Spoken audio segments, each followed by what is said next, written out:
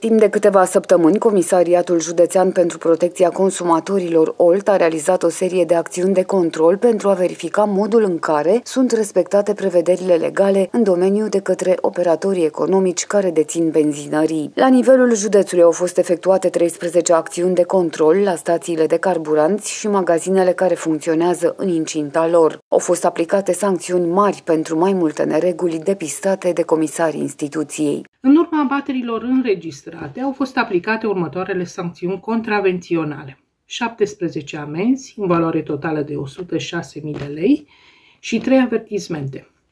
Acestora li se adaugă următoarele măsuri complementare.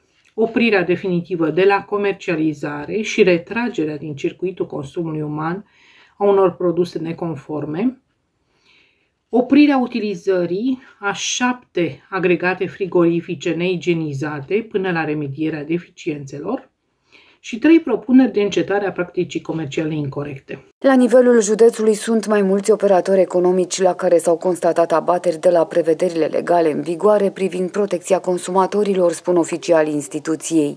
Între cele mai frecvente nereguli constatate, menționăm utilizarea unor agregate frigorifice neigienizate, Practică comercială incorrectă referitoare la un avantaj al consumatorului în cadrul unei promoții care nu mai era valabilă, practică comercială incorrectă, contrară cerințelor diligenței profesionale prin creșterea nejustificată a prețului carburantului, comercializare de produse în afara termenului de valabilitate. 2 milioane de lei este valoarea totală a amenzilor aplicate benzinăriilor din România pentru explozia prețurilor la carburanți de acum aproximativ două săptămâni.